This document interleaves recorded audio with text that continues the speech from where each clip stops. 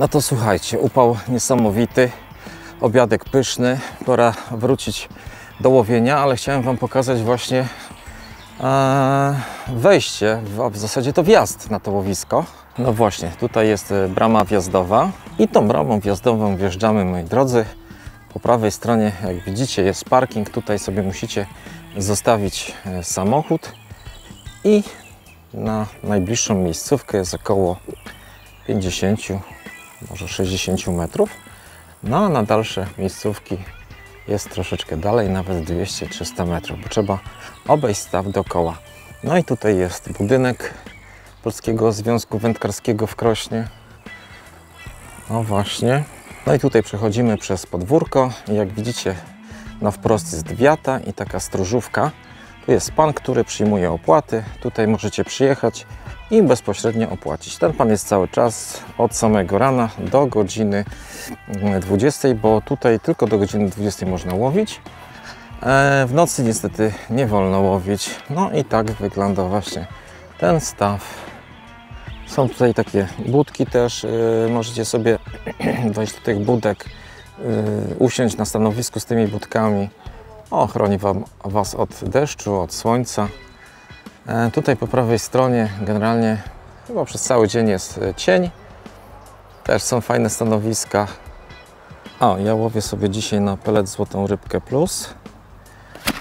Tutaj pelet F1. Zanęta F1 jako czapeczka.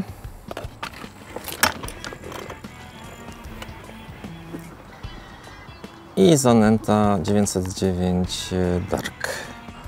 A tutaj na Sinking Bomb właśnie mam ten pellet, pellet Wagler e, o wielkości 9, e, przepraszam 8-11 mm. To są dwie frakcje, dwie wielkości.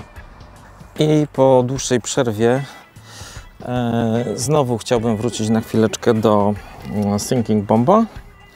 Więc e, odkładam metodę na bok a tu jeszcze będę kilka godzin, więc za chwileczkę będę sobie łowił metod na metodę. Ale teraz znowu chciałem sprawdzić o tej godzinie, jak e, bombka jest skuteczna. Tej ryby tutaj pod powierzchnią jest bardzo dużo. Znowu ona sobie tam wypłynęła. I znowu zakładam przynętę, powiedzmy tą większą. Większą, czyli 11 mm i strzelamy. Niedużo mi zostało tego peletu Waglera,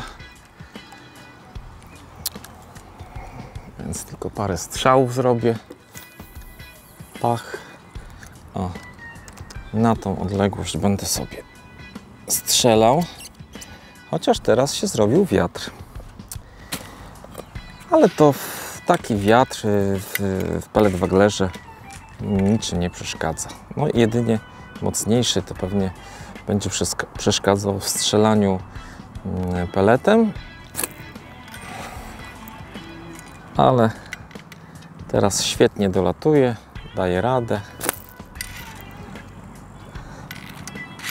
Spróbujemy sobie znowu rybkę tutaj skupić. Ona reaguje na takie odgłosy spadającego peletu.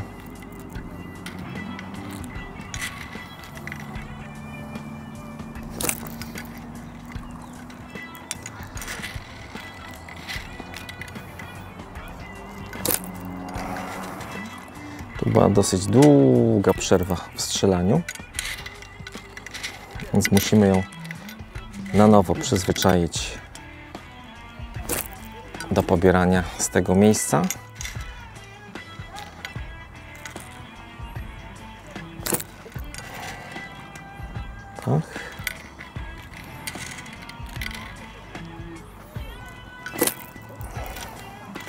Dobra, wydaje mi się, że tyle powinno wystarczyć.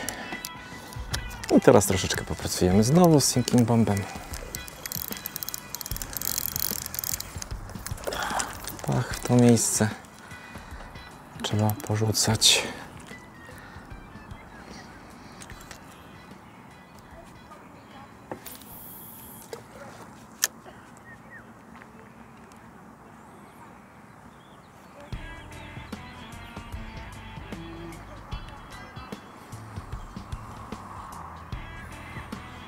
No, nie ma tutaj w tej chwili ryby, nie reaguje z tego względu, że zawsze po zarzucie mm, y, są jakieś uderzenia. Teraz ja tutaj nie czuję żadnych uderzeń, więc po prostu musimy naczekać, aż ta ryba po prostu tutaj napłynie. Po prostu wydaje mi się, że trzeba od nowa zbudować łowisko do połowu spod powierzchni. Ona gdzieś ta rybka jest, widzę, że ona jest rozpłynięta, ale nie jest tutaj skupiona. Nie ma jej tutaj.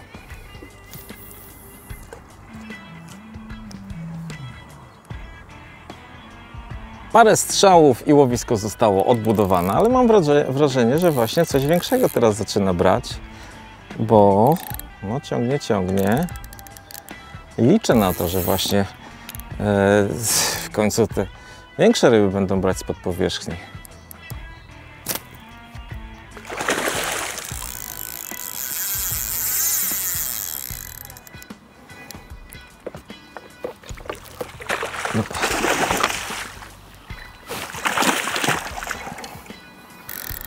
Trzeba go raczej trzymać pyskiem do góry, żeby nie nurkował, bo jak będzie nurkował, to nabierze siły znowu.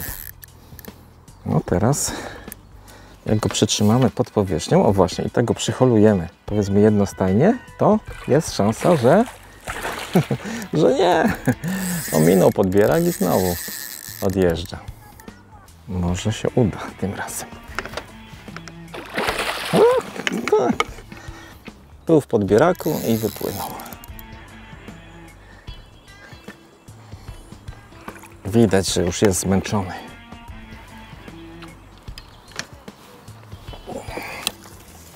Okej. No Karolu, jak Ci się podoba ta metoda? Bardzo fajna, szybkie brania. No, bardzo fajna. Łowiłeś kiedyś wcześniej na tą metodę? Nie. Ale tak jak patrzyłeś na zestaw, to w miarę prosty to jest zestaw, no nie? Tak. No i proszę bardzo. Maksiu, możesz podebrać? Chociaż nie. Chociaż niech sobie Karol sam radzi, prawda? Tutaj chłopakom pokazywałem też, jak fajnie rybę podebrać na e, sinking bomb. E, Max pierwszy właśnie podbierał, świetnie mu to wyszło. Bardzo dobrze. Bardzo dobrze, ryba w podbieraku. Teraz szybko ją zamykamy, bo amur lubi wyskakiwać. Wyciągamy podbierak na pionowo. Moi drodzy, to już jest zawodostwo, naprawdę to już jest zawodostwo.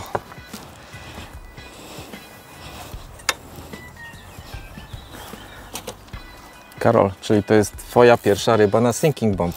Tak. Super.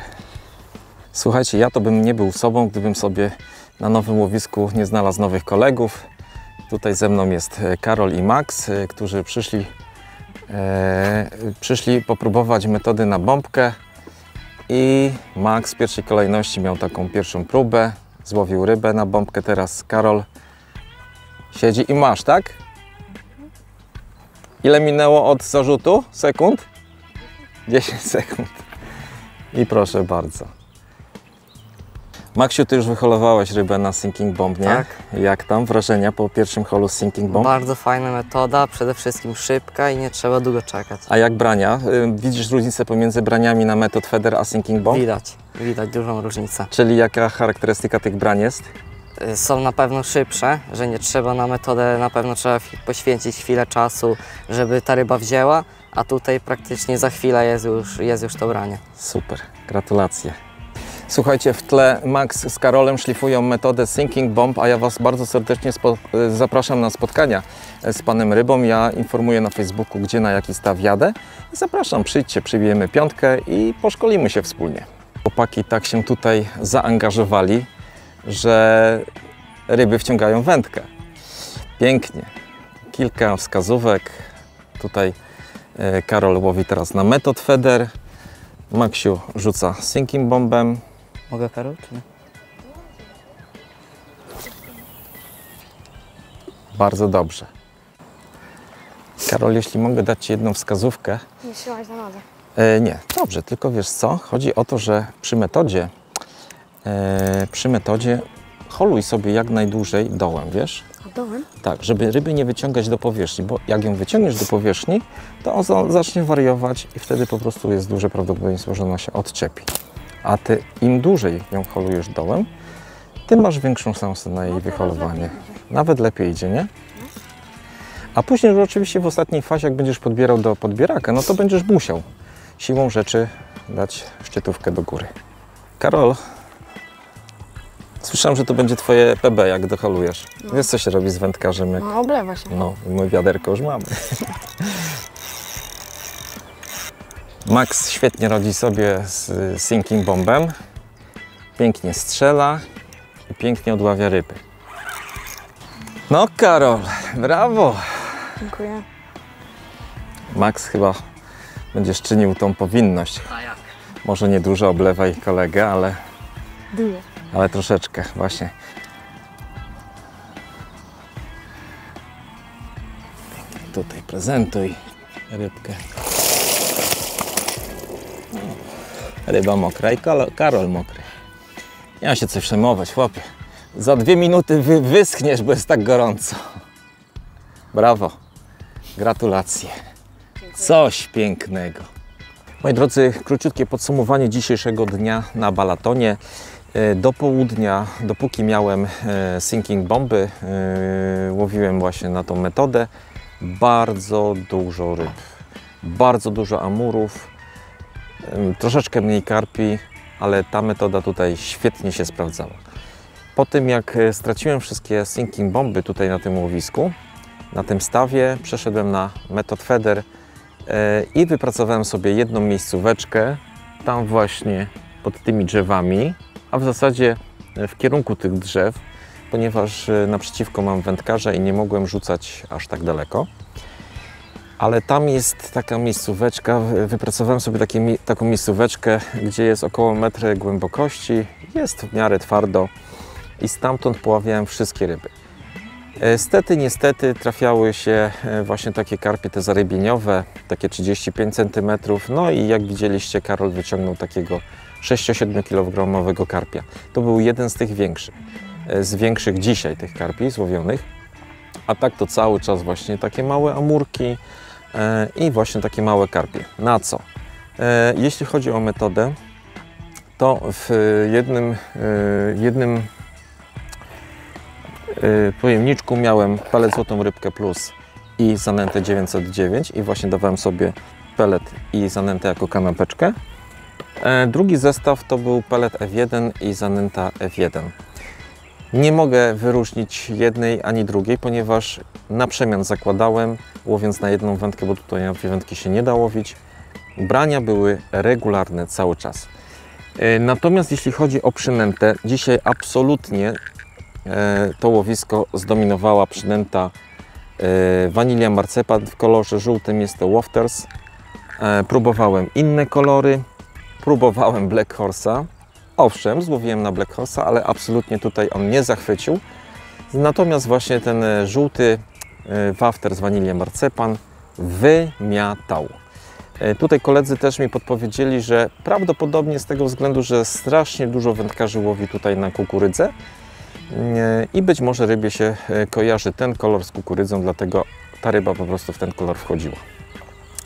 Zostanę, moi drodzy, jeszcze przez e, jakiś czas tutaj, bo jest godzina 18, a tutaj wolno łowić do 20, zostanę do samego końca, bo lokalni wędkarze mówią, że właśnie po 18, kiedy słońce zajdzie tutaj za te drzewa, e, ta ryba większa uaktywnia się. Więc bardzo jestem ciekaw, czy rzeczywiście tak będzie i miejmy nadzieję, że tak będzie. I miejmy nadzieję, że jeszcze dzisiaj tą kamerę odpalę, żeby Wam pokazać hol, no i tą dużą rybę.